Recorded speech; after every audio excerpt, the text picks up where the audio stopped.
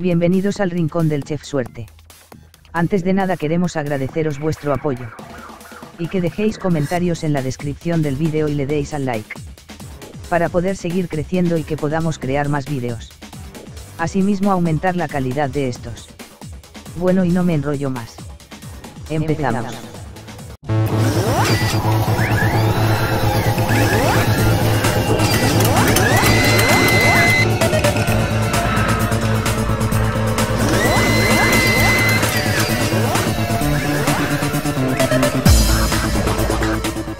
Hoy traemos tres términos nuevos que son. Abadejo. El abadejo es una especie de pez gadiforme. Es similar al bacalao y normalmente mide entre 75 centímetros, aunque puede alcanzar los 130 centímetros.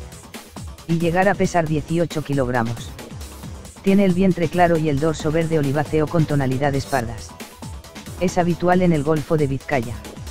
Y, en general, en todo el Atlántico Norte y Oriental. Abarquillar. Generalmente suele suceder en las carnes cuando se fríen o asan. Es cuando una carne se contrae y se enrosca a la hora de cocinarla. Esto sucede cuando existe un tejido nervioso que rodea total o en parte la porción de carne. Para evitar que se abarquille se corta ese tejido o bien se le elimina. A continuación golpear la carne con un mazo para estirarla según las necesidades de elaboración. Abaise. Es una hoja de pasta cuyo espesor será el indicado por la receta que lo necesite. Se extiende con un rodillo y tiene distintas formas. En conclusión.